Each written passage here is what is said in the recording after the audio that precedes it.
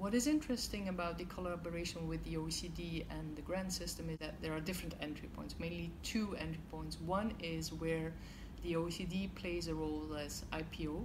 um, where we mainly provide strategic advice and support for the grants, the secretariat, the donors in designing and implementing their strategic program on public governance. That is one entry point. The other entry point is where we engage, uh, I would say, more on the ground in a technical cooperation with the country, the specific country, under the umbrella of the grants,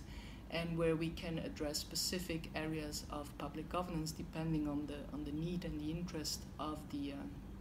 of the beneficiary country, and where we can address a range of issues like public procurement, integrity, digital government, broader public governance issues, and where we uh, build upon the expertise of the OECD in providing sound analytical advice, but also making the next step of also providing uh, actionable recommendation and implementation uh, support.